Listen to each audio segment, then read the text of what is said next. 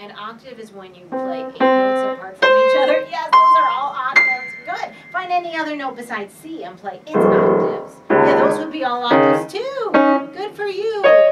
Excellent, Megan. Very good. So in this particular piece, from this note to this oh, note. played this for me. Did you? Good. So this is what you do. You just go one, two. Look at my hands. One,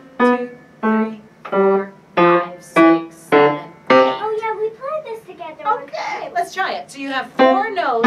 You play with your right hand, and then you come in with your left hand on F. Two, three, four, five, six, seven, eight. And that's the last part of the piece. So each hand gets a Gets four notes. So seven, eight, and then Because it's an I always do equal. Whenever Yeah. I spin this way, I always spin this way. Yeah, that's good. It's always equal. Absolutely.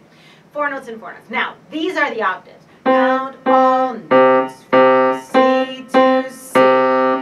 that part of the piece? All notes from C to C. Good. And then you're ready for two, three, four, five, six, seven, eight.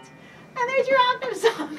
that is so good. That's so easy. it's so easy. I know. We should put this all the way up. you should put it like right at the beginning of the Right, book. like all the way over there.